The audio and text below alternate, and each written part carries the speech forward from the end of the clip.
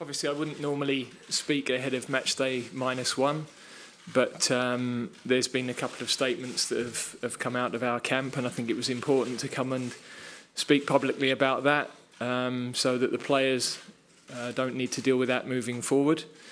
Um, I think I'm dealing with a very young squad, very young squad, and we're in a sport where emotions often run high. Um, I think Raheem, in his post last night, explained that for a very brief moment uh, his emotions ran over. Um, and it would be correct to say that's not the same for Joe. Um, and these things happen in football. Then what you have to find is a way for the group to move forward. Um, that needed some time, uh, needed emotions across the board to calm down. Um, we have some excellent senior players who uh, have played a part in uh, bringing everybody together. Um, and you need, as a manager, to see that the group are prepared to work together moving forward, that everybody's comfortable with that, that everybody is in the right place. Um, my priority is always the care and well-being of all of my players, all of my players, um, and then you have a decision to make as to whether um, there needs to be something further, which is the right thing for the group moving forward, uh, which was my reason for uh, uh, not selecting Raheem for the game on Thursday. Um, in regards to whether that should have been made public or not, in the end, when you've made a decision like that, it's going to be public on Wednesday or Thursday anyway, and I'd have to deal with it then. I'd rather deal with it now so that we can all focus on the game, decisions being made, um, and as a group, we're moving forward and concentrating on the football. Okay, we'll now throw open to the floor for five minutes or so. In the interest of fairness, can we limit to one question per person? And we'll start with Carver. Uh, Gareth, first of all, can you tell us um, exactly what happened yesterday? Uh, and did you send Raheem Sterling home and then change your mind?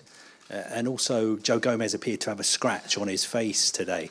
Uh, was that caused by Raheem? So, several questions there. Um, I think the reality is that um, I'm not prepared to go into detail.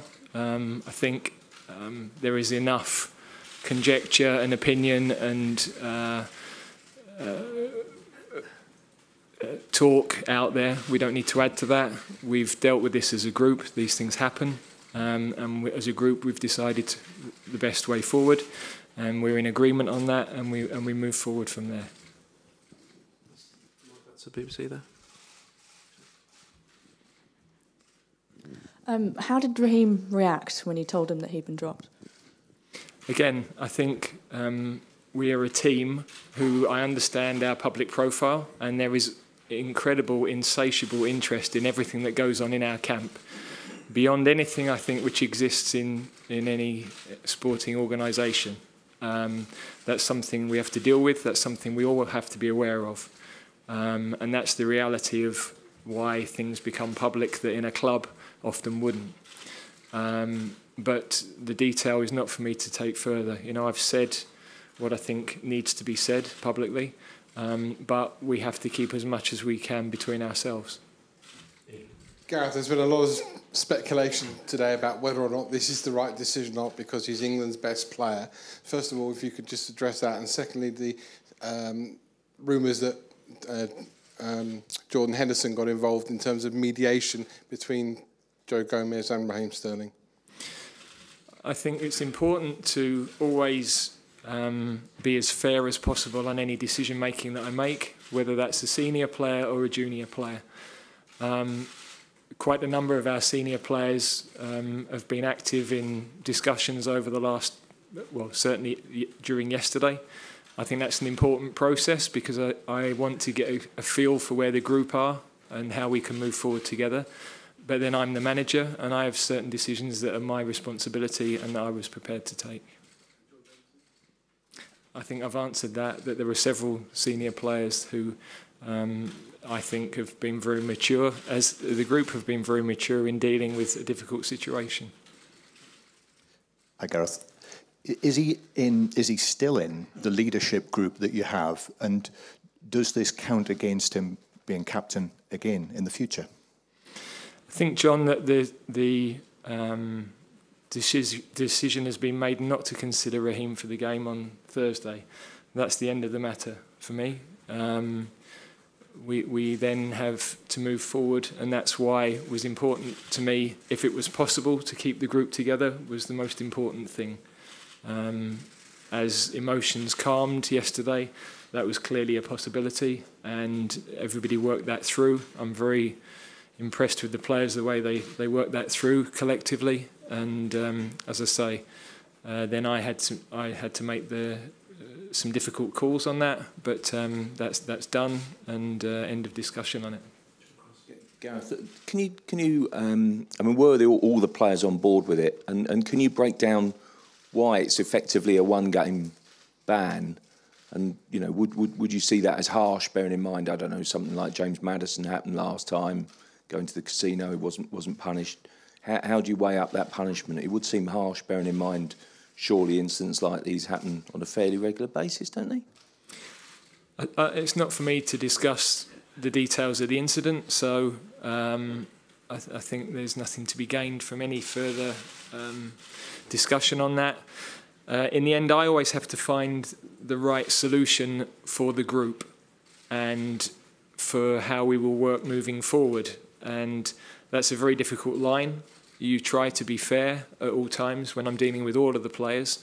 Um, I won't always get that right, but in the end, I'm the manager. And I've made a decision, and um, I think it was appropriate for how we want to work moving forward. Um, and for me, it was important that, of course, um, is a very important player for us, um, but I felt it was the right thing. Gareth, I, understand the, the, the difficulties of explaining the details, but it is unprecedented in, in our memories of, of a player being dropped.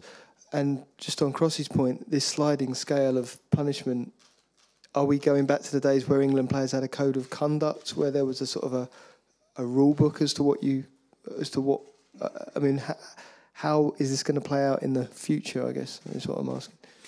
I think in the way it has this time, that um, I consult very closely with all of the players, and in particular my senior players, and they have a very good understanding of the way that we've worked over the last couple of years. That's brought us a lot of togetherness, which is still there, um, and that um, we're we're a united group. Um, and now we have to turn our focus, which we have done from the uh, from last night, onto the football. We've got a hugely important qualifier uh, to qualify for a European Championship uh, on Thursday night. Again, that's why I'm speaking now on this because for me, um, it, we're drawing a line under it and uh, we're moving forward as a team. Okay, how disappointed are you personally with Raheem for this having happened? It's the last thing you needed, really. I, I love all of my players. Um, we're like a family, and all families have disagreements. And the most important thing for any family is that you communicate through those disagreements and you work through them. Um, so I don't expect, um, as a manager, to never have to deal with things that uh, that are either unexpected or are difficult. Um, that's part and parcel of the job, and that's part and parcel of working with elite players. So um, we, uh, as I say, uh, our focus is now to move forward.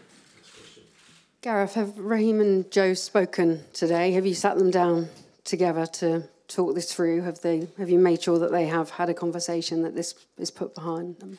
it was crucial to me that everybody in the group is comfortable and is speaking and is is ready to move forward with football, and and that was absolutely clear. So. Um, that's why everybody is still in the camp. That's why everybody is part of the squad.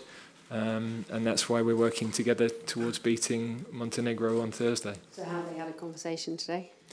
Well, they've. I'm assuming I haven't been with them uh, for for every minute of the of the day, but there's all all of the players are talking and communicating. Absolutely. So you haven't sat them down to me. Apologies, sorry to get around you. We're going to have to end it there.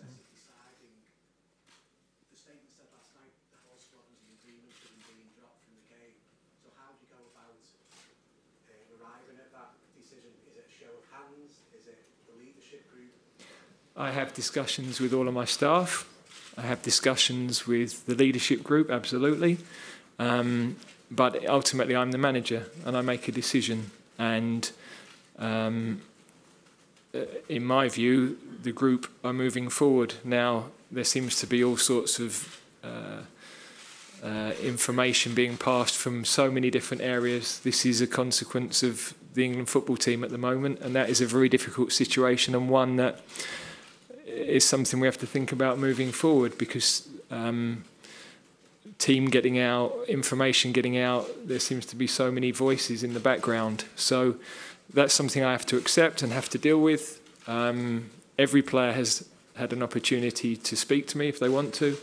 Um, and um, my view is that the group were ready to move forward.